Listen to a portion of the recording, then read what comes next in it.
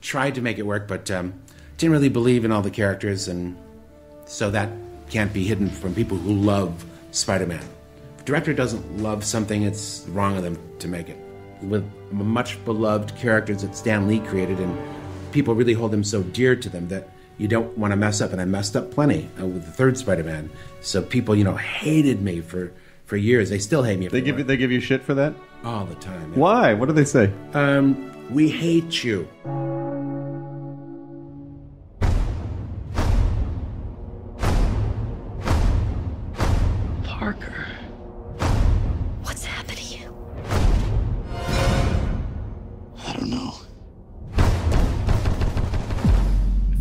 The teaser for Sam Raimi's Spider Man 3. Sam Raimi's Spider Man 3 feels like three different movies mashed together. Sam Raimi's Spider Man 3 is messy. Sam Raimi's Spider Man 3 is no Sam Raimi's Spider Man 2. But you know what? Sam Raimi's Spider Man 3 is not a bad film, not even close. I would go as far to say that Sam Raimi's Spider Man 3 is in fact a good film. Hell, it's even a great film, and it's an almost perfect finale to his beloved take on our favorite wall crawler. Here's why.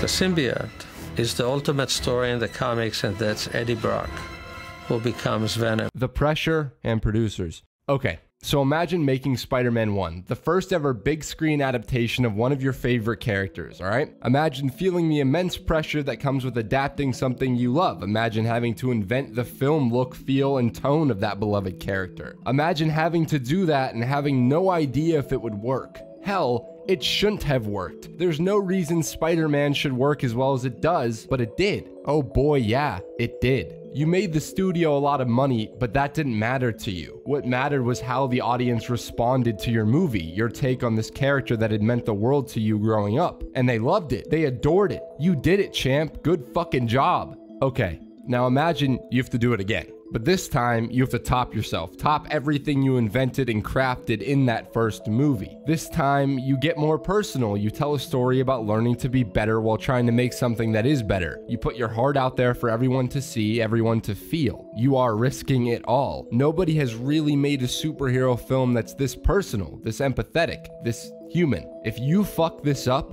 the entire world will hate you. After all, they loved your first movie, but you don't fuck it up. You don't even come close to fucking it up. In fact, you make the best damn superhero movie ever made. Critics who didn't love your first movie now love your second movie. Audiences who liked your first movie are swooning over this one. They adore it. They realize how human it is, how personal it was to you, and they love you for it. You are unbeatable. But wait, now you're expected to do a third movie, and you have to do it in the next three years. How could you possibly top the movie you just made? You laid your heart out there on a platter for the audience to gobble down with their overpriced popcorn into their oversized stomachs, and they did. You can't possibly do more than that, can you? Okay, well, you have to try. You have to fucking try because it's what the studio wants, it's what the audience wants, and it's what you want. You know you can make the perfect third movie. You know how to make the perfect third movie. You just need to stick with Peter, Mary Jane, Harry. That's what the franchise has always been about. That's where your interests lie. And now, come to think of it, you love the look and cinematic potential of this character, Sandman.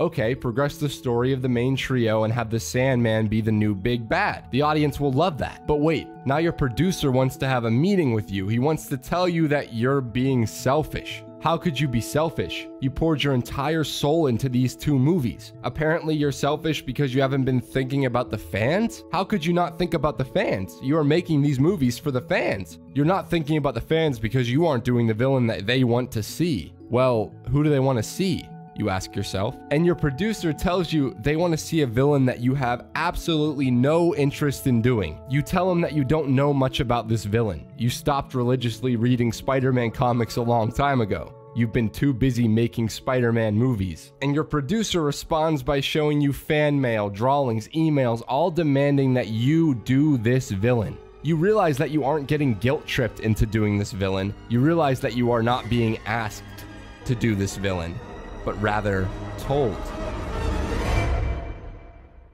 Well, shit.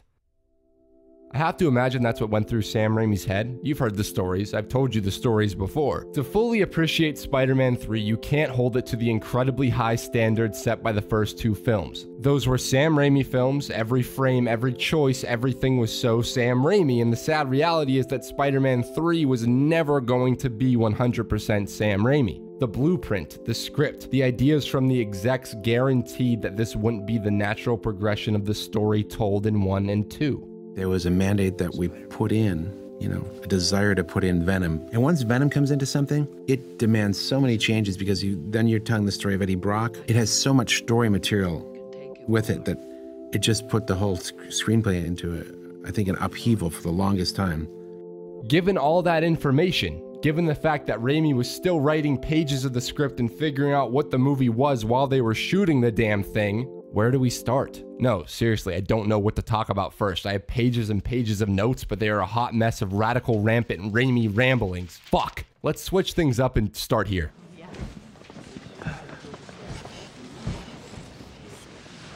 Oh, I'm so nervous.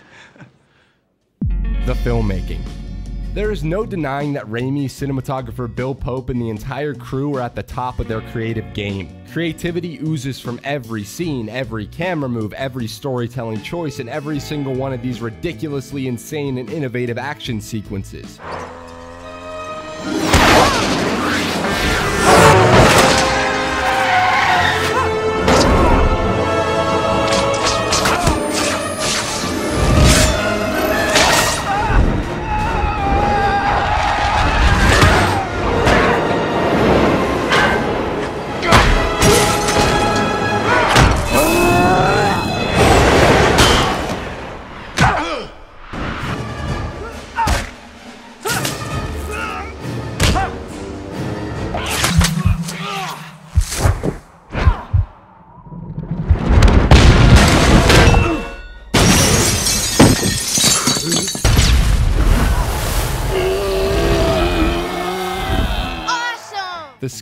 This movie is unbelievable. Analysts and reporters at the time theorized that the movie went far over its already absurd initial budget of $250 million.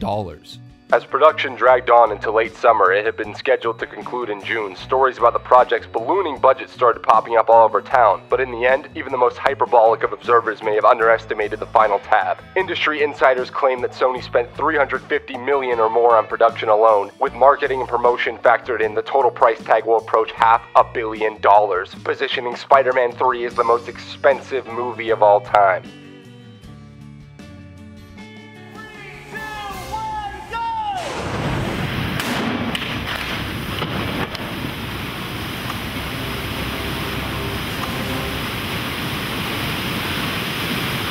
Did you know that the team tried out various types of sand to find the perfect look for the Sandman? I didn't. Did you know that's a real camera crashing through these real cars? I didn't. Did you know that this entire construction site is a giant controllable set built in a studio? I didn't. It's clear from watching the behind the scenes that everyone involved in the production wanted to top the extraordinary bar set by Spider Man 2. They wanted to make it more grand, more intense. They wanted to make Spider Man 3 the biggest Spider Man film ever. But as we all know, bigger does not always mean better. This film was being written so in so many versions, so many different ways, and we had to all start working on it before it was ready. 10 minutes into Spider Man 3, and there's already a lot to unpack. I mentioned this in part 2, but I can't stress enough how much I adore these opening credits. Raimi really knows how to make these movies feel like events and not episodes or installments in a franchise. He gives the audience a stylish and operatic refresher on what happened in 1 and 2 while building up hype for the adventure you are about to go on, while also giving me freaking goosebumps while somehow making them tell a story. I mean, we get to see Peter's entire story so far. We get to experience the emotions he felt through the music. Christopher Young's Venom theme, along with the actual Venom symbiote, comes smashing in as soon as Peter experiences the tragedies that define him. And as that Venom theme and as the goo takes over our eyes and ears, Elfman's Spider Man theme comes swinging back in. It's almost like the music and visuals in the credits are telling the story of light versus dark, positivity and negativity, tragedy and responsibility. It's ridiculously well done and just wild. Anyways, I love how we open the movie on a Peter Parker filled with pride and joy watching himself on a larger than life screen. What a wonderful way of visually setting up Peter's ego and vanity. Hey, stick around. It's gonna start again in a couple minutes. Peter goes on to talk about all his accomplishments and just how happy he is. It's such a drastic, almost shocking difference to the openings of 1 and 2. It's nice to see Peter finally be happy, to make it to class, to not be completely broke, to be loved as Spider Man and as Peter. It's nice to see MJ singing on Broadway and Peter finally being there to see it and support it. Also, this little moment is my favorite Harry moment in the series.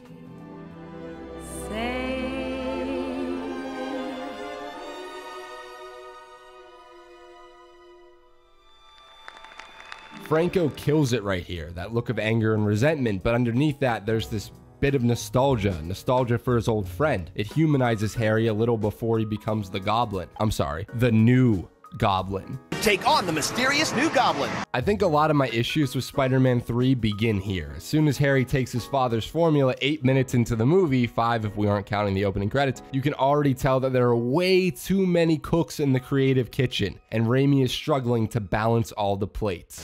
Oh, Trying to establish all three of the main plots and villains. Compare that to Spider Man 2, where Doc Ock isn't introduced until the 19 minute mark. 20 minutes into Spider Man 3, and we have been introduced to Peter's ego, the symbiote, the Sandman, and Little Goblin Jr. In fact, Peter is already having his first fight with Harry 20 minutes in.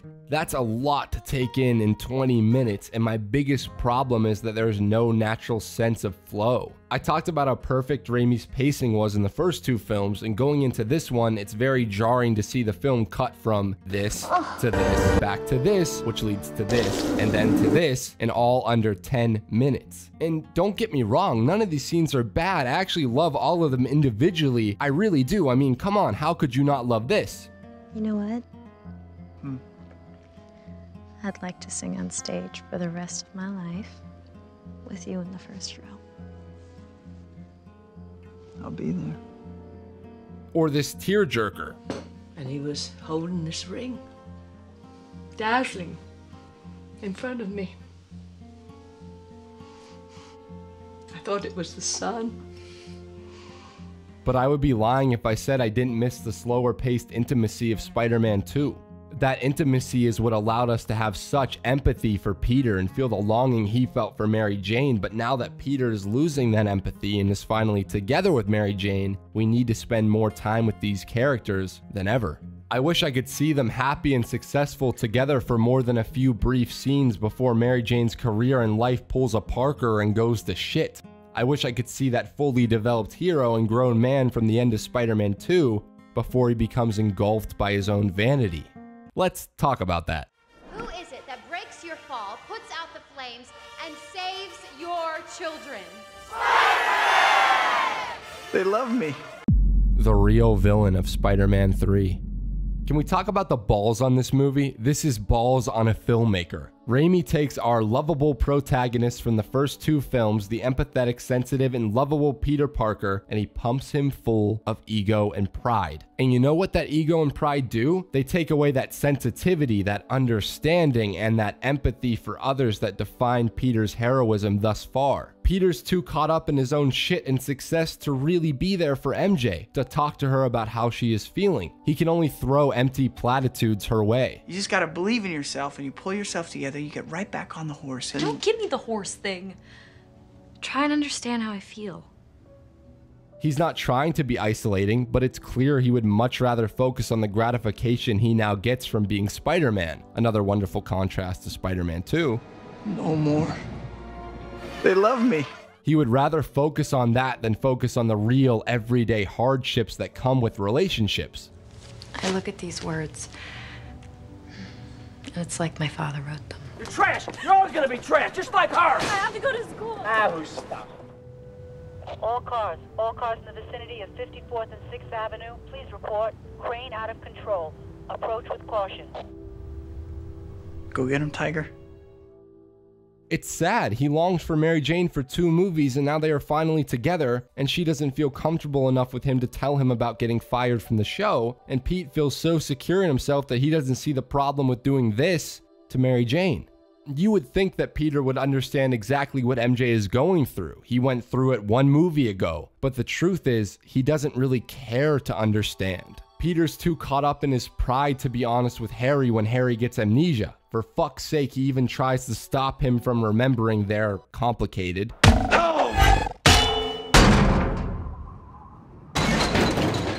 History because that would make things even harder for him. This pride, this ego, it takes away the emotional honesty, the empathy that makes Peter Spider Man.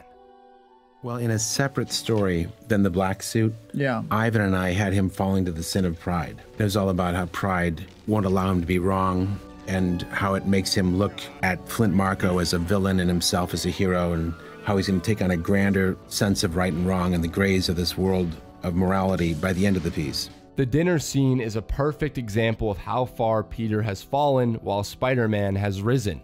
Peter plans to propose to MJ right after doing the kiss with Gwen, and we get this hilariously uncomfortable scene where he is so out of touch with MJ, with himself, and with their relationship that he is 100% certain that she will love and accept his romantic proposal.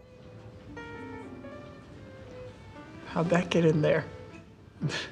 oh, don't cry.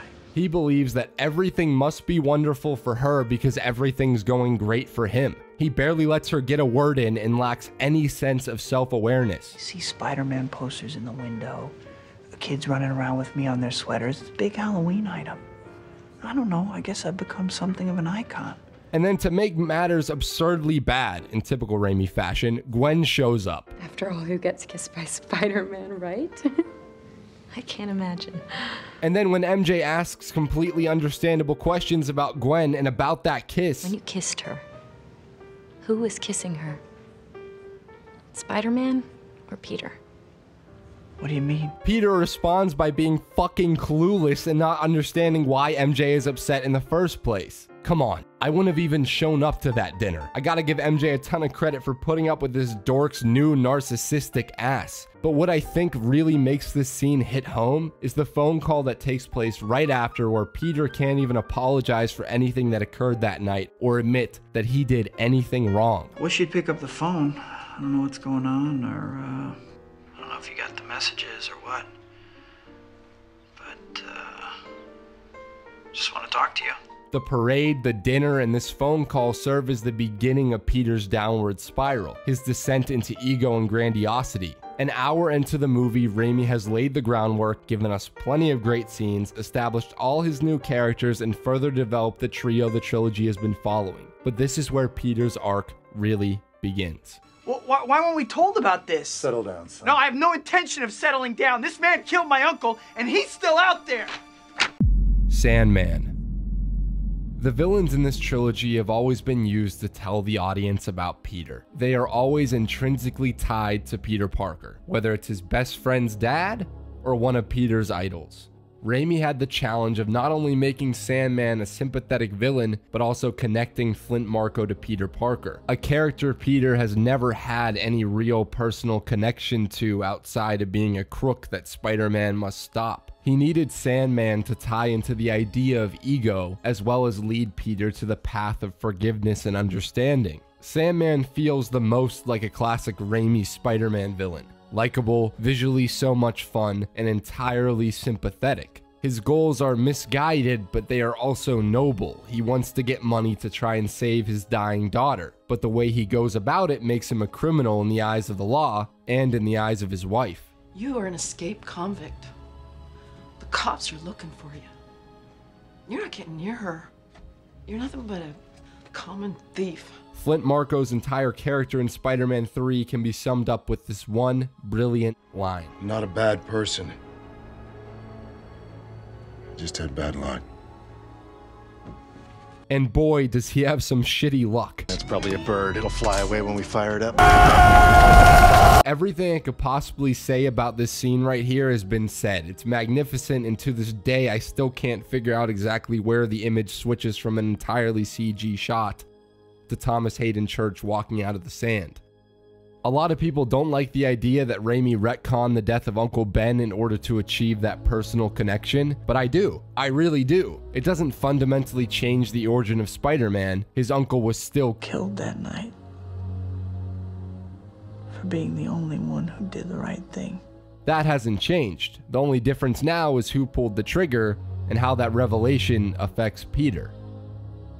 So, how does that revelation affect Peter? Imagine if you thought you got the guy who killed your dad. You thought he was dead and gone. You're finally happy with yourself, maybe too happy, but you still think about your father every day. And then years later, you find out that he wasn't killed by the guy you stopped. He wasn't killed by the man you indirectly caused the death of. He was killed by someone entirely different. Someone that you just fought that day, but let get away. And that someone is also made out of sand. Of course, you, or any human being, would be mad and obsess over getting the son of a bitch who killed the man who raised you. And that's exactly what Peter does. And that's where.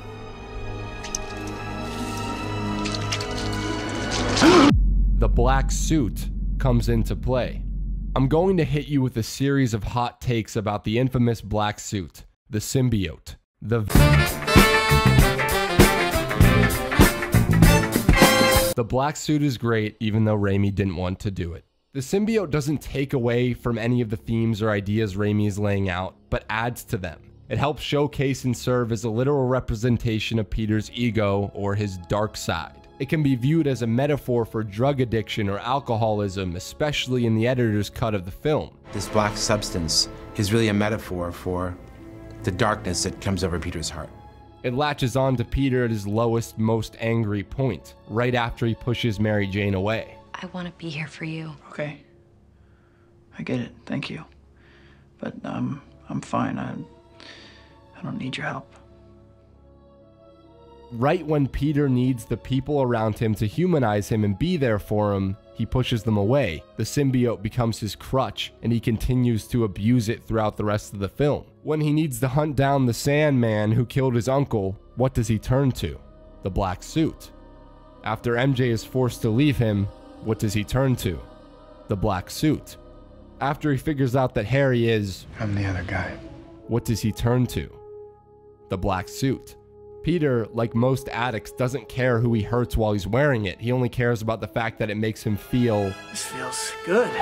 It makes him feel powerful, even more powerful than he already is. It comes at the perfect time in his life where he is forgetting the responsibility element of that great power.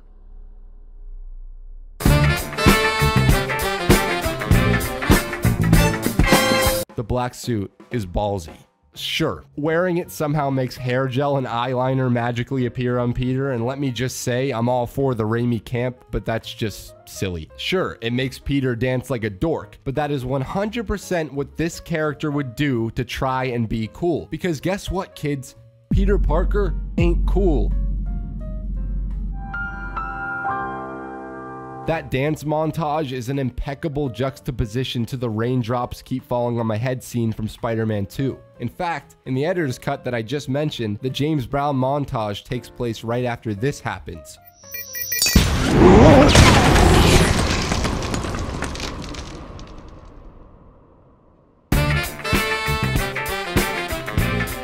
That's so twisted. Black Suit Peter is celebrating blowing off half of his best friend's face. In this version, it's much clearer that Raimi was going for his classic dark twisted humor. This scene was always supposed to be hilarious and make you cringe, but watching it placed where it was originally intended, you get a sense that you're supposed to feel bad for laughing. I guess a lot of people forget the moments where the symbiote makes Peter do some real horrendous shit. I see people talk about the cheese, about the dancing, about this. Now dig on this.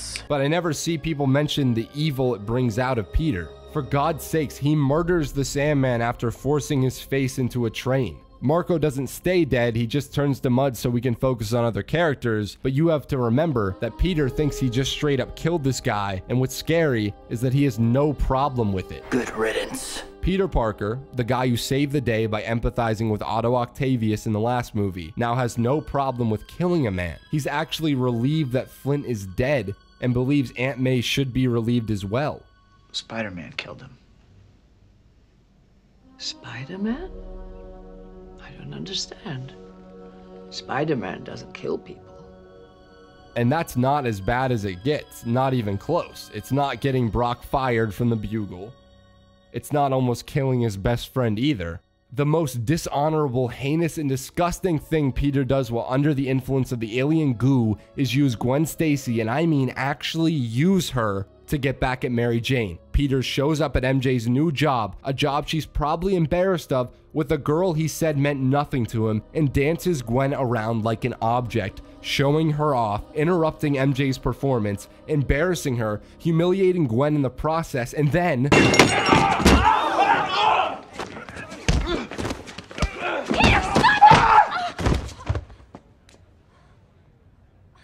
No music, no insane camera move, just the raw impact of what just happened. He hit her. When I saw this as a kid, I was shocked, and it's still insanely shocking now. How could Peter Parker, how could Spider Man hit Mary Jane? This isn't Spider Man. This isn't Peter. Peter would never. Who are you? I don't know.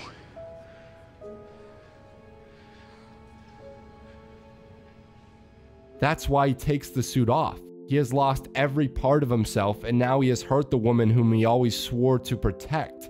And I think Peter realizes that it's not the suit's fault. It's not Sandman's fault. It's not Harry's. It's his own fault. If he wasn't so filled with pride, if he was there for Mary Jane, if he was there for Harry, if he wasn't so self involved, if he wasn't so focused on his own emotions, then none of this would have happened.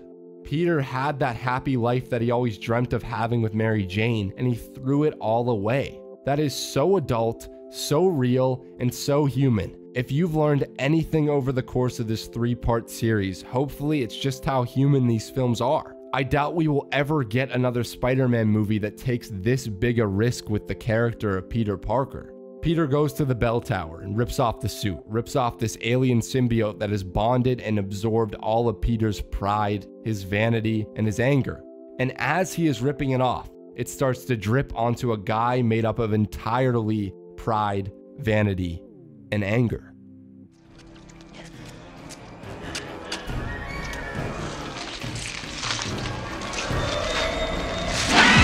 Edward Brock Jr.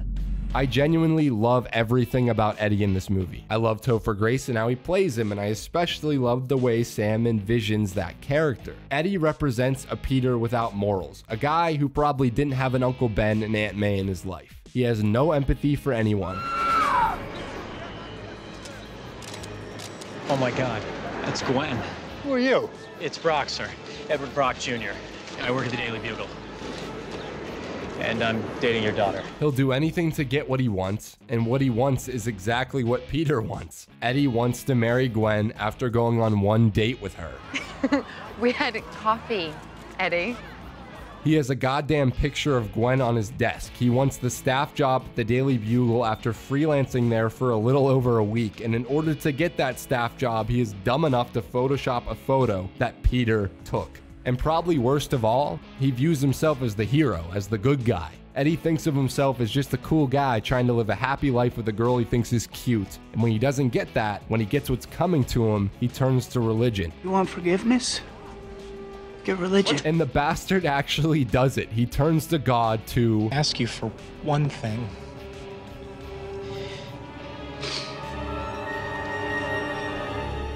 Want you to kill Peter Parker. Eddie Brock is this hilarious, sleazy, and greasy parody of Peter Parker. The entitled brat with absolutely no sympathy and absolutely no understanding of people. And I love it. It's perfect. Raimi was pushed to do Venom, so he did the Sam Raimi version of Venom. Raimi took a character from the comics that he didn't have that much love nor appreciation for and made him someone that he could tackle. He turned Eddie Brock into the sleazeball reflection of Peter and used Eddie to showcase what Peter could become if he gave into these emotions he's tempted by throughout the film.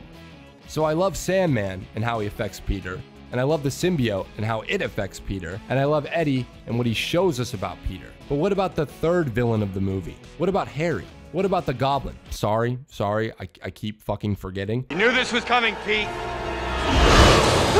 The new Goblin.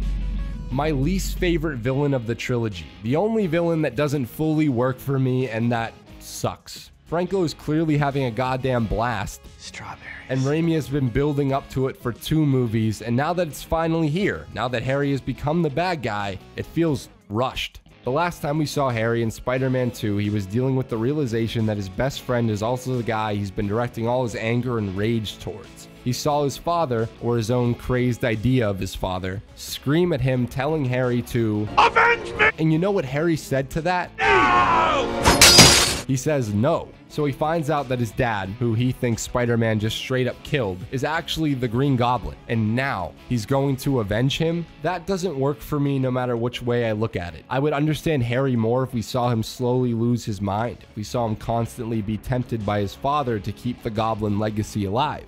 But we don't get to see any of that because, frankly, the movie doesn't have time to really develop nor define Harry as a villain. Can't forget the amnesia plot. Bump on the head, I'm as free as a bird. I do love the idea that we get to see Harry and Peter be friends again. Raimi even dresses Harry in the outfit he wore in Spider Man 1, back when these guys were just two best friends looking out for each other. That's how Ivan and I felt, along with Alvin Sargent, that we had to experience the friendship, so it meant something. It was tangible for the audience. It couldn't just we couldn't just remember a bit of it from the first picture.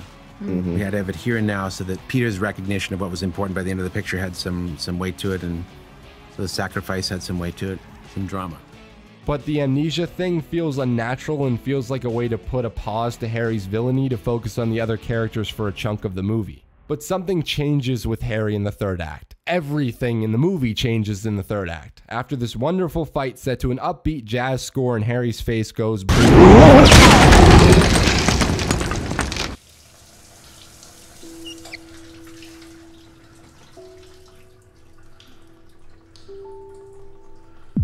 forgiveness.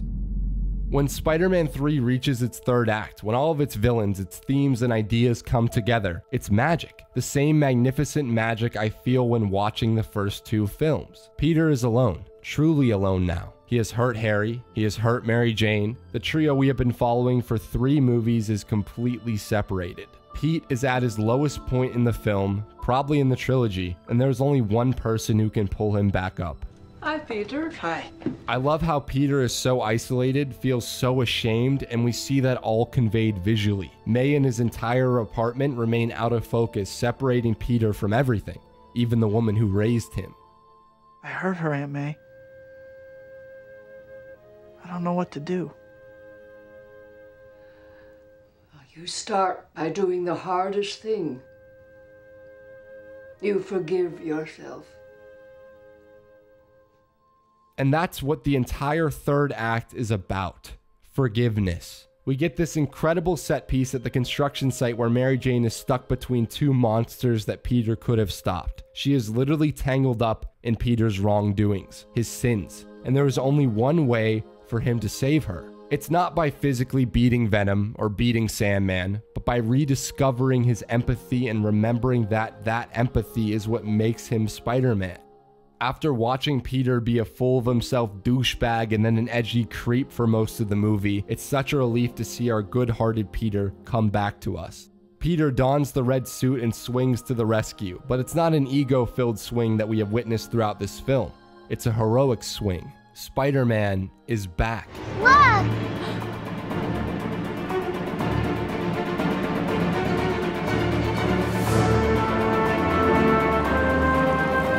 This is one of the few fights in the trilogy where Spider Man loses completely. He's beat and almost killed by villains of his own making. All hope is lost, and we feel that this could really be The end of Spider Man.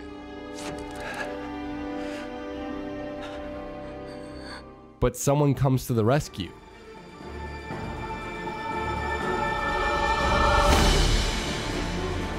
God damn, that's so fucking good. Everyone is over here freaking about Cap lifting Thor's hammer, but this was that moment for me as a kid. Seeing Harry forgive Peter and seeing two friends work together to save the day. Sure, it's cheesy, but you can't deny how sweet and heartwarming it is to see these two finally come back together to save someone they have both wronged, that they have both cared for and loved for three films. Go, buddy! Got her!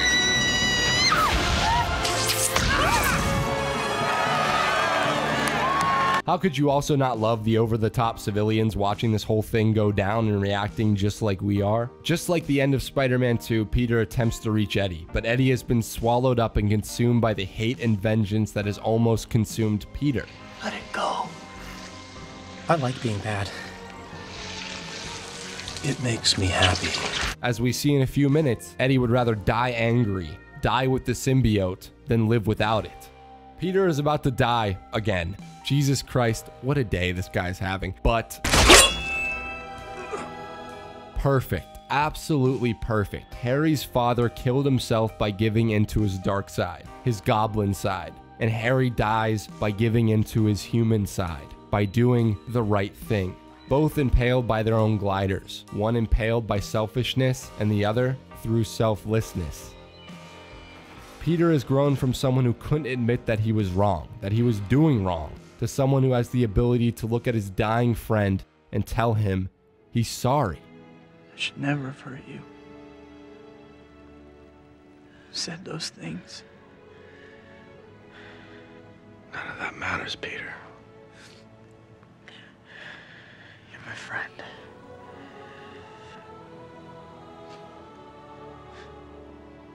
Best friend.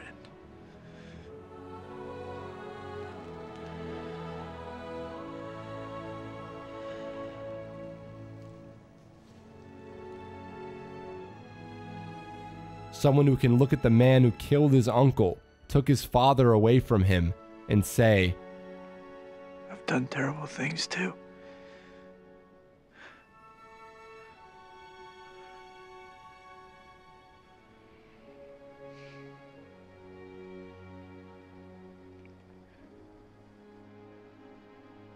I forgive you.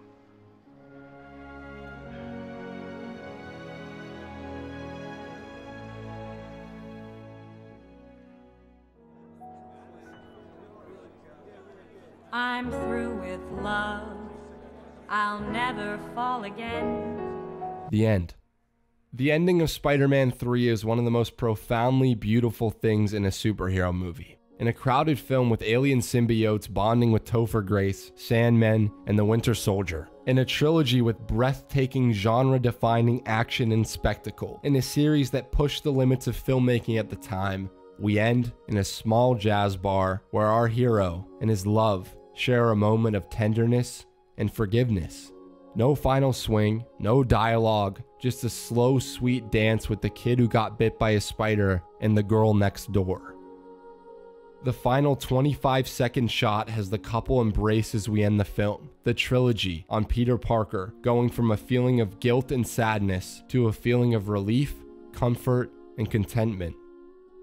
Nobody is perfect. Everybody struggles.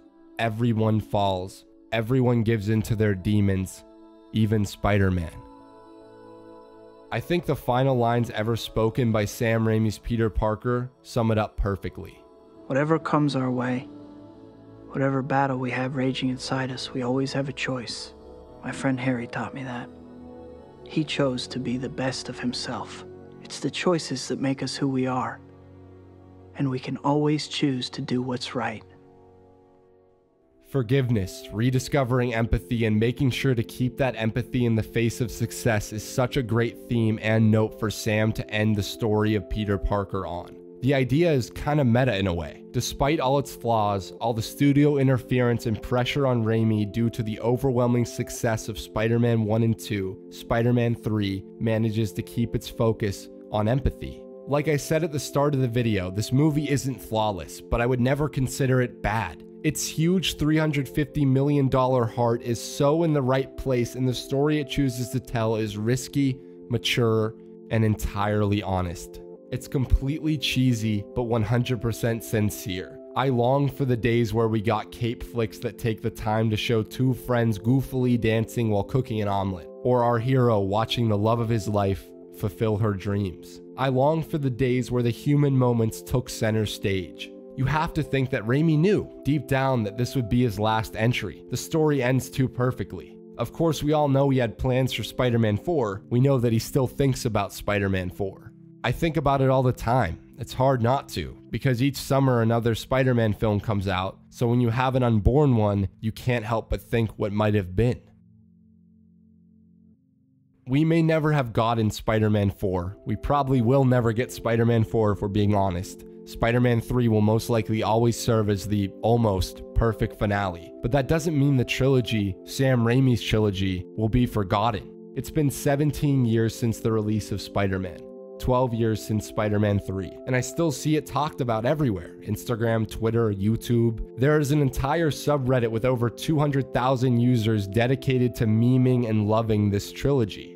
I wanted to make this series to share my love and hopefully help you rediscover that love, or at least understand my undying obsession with this series. Growing up poor and feeling very misunderstood, feeling alone, I can't tell you the life changing effect seeing the story of a poor and lonely superhero had on me. It gave me someone to look up to, to aspire to be.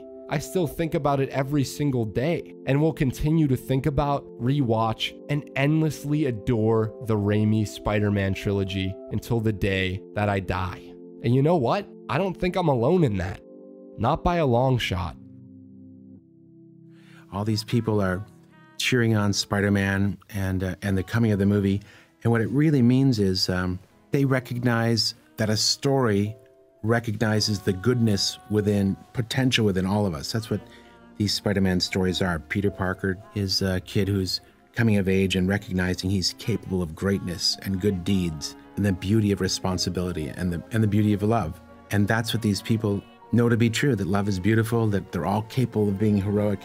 And the movies just tell these familiar stories with a very familiar character, Spider Man. And I've come to realize that's what the, all the hoopla is really about is people celebrating the recognition of storytellers, actors, writers, telling that story that they know to be true and that they love about themselves. I just had a great time making these movies with all the people that uh, that's worked on them, and I really feel like it's given me so much. And we've got a little family unit working together to make these films, and I feel like they were our films for many years, and, and now they're yours. So thank you.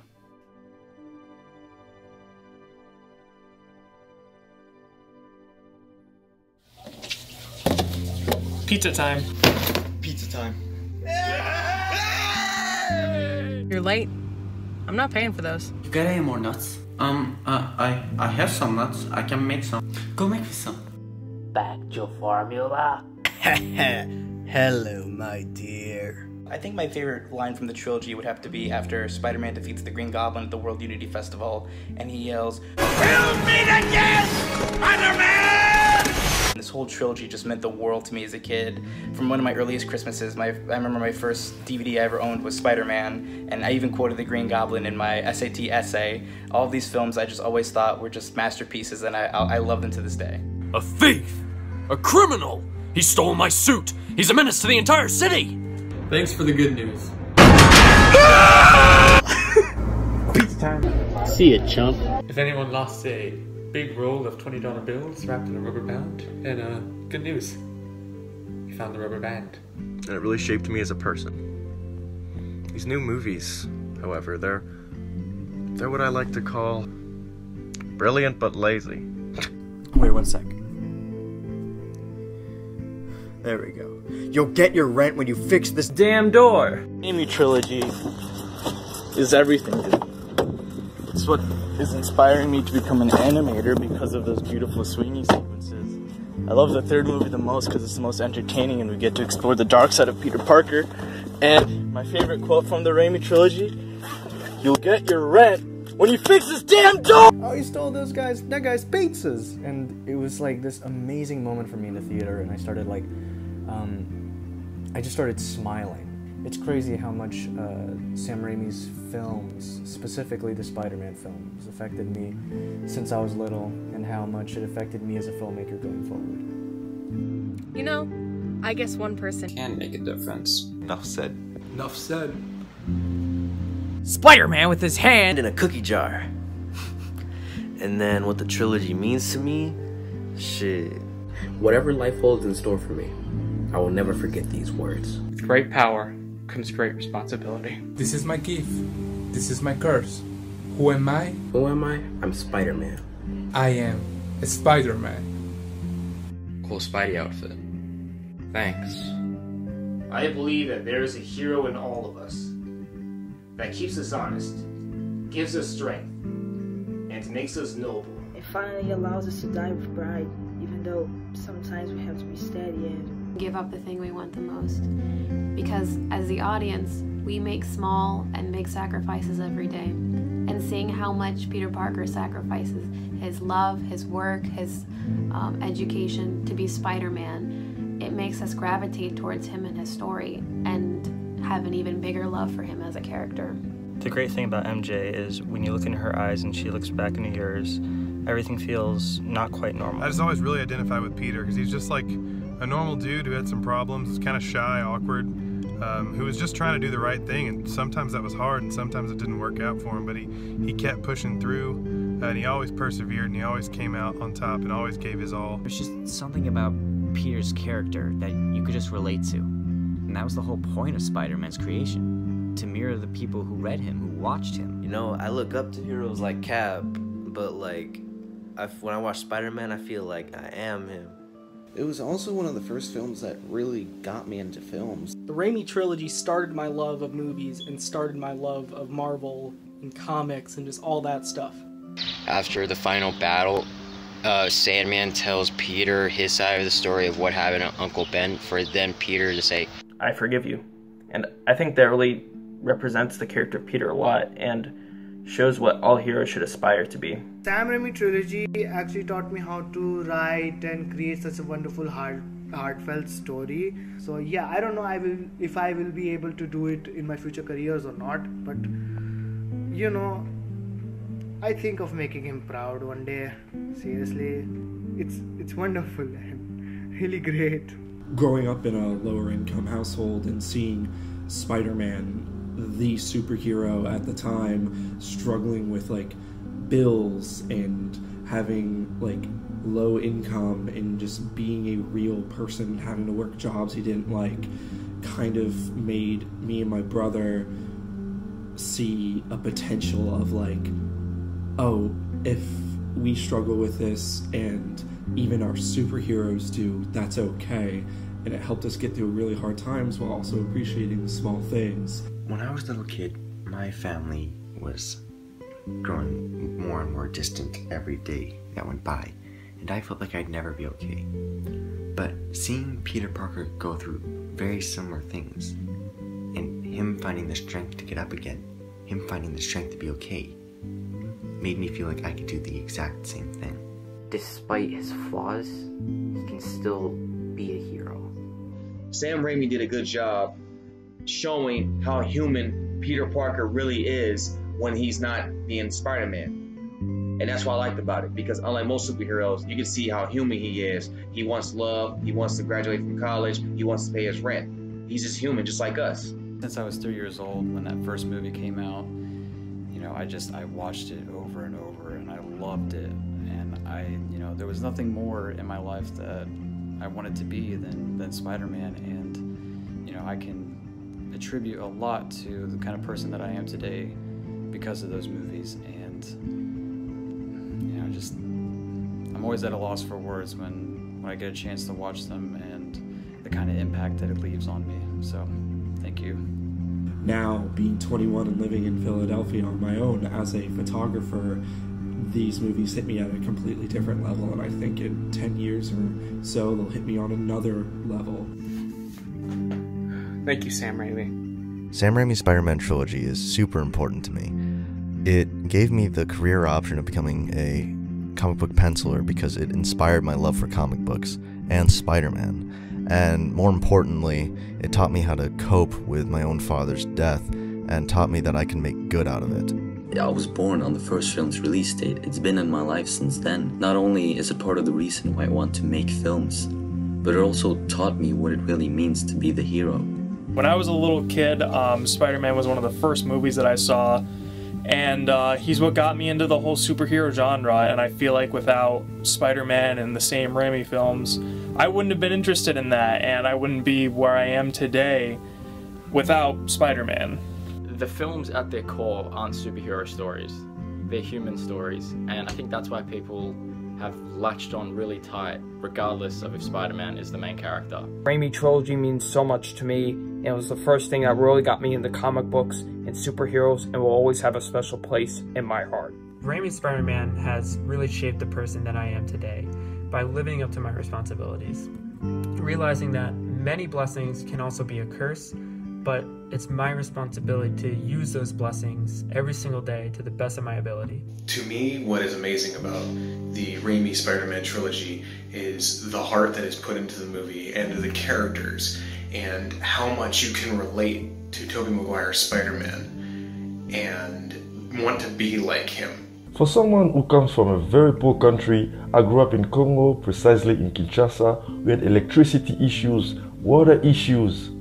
I grew up in an environment I didn't necessarily like, but I, but I was able to make it out and live my best life today. And I think I probably owe some of it to the Spider Man trilogy. I grew up a really poor kid, and the first Christmas that I remember, I got a VHS copy of Spider Man. And I remember watching it so much that I ended up burning the tape in the player. I've carried this movie throughout my entire life because it means so much to me that Sam Raimi made a hero that I could relate to and that I could look up to, and it could be my hero.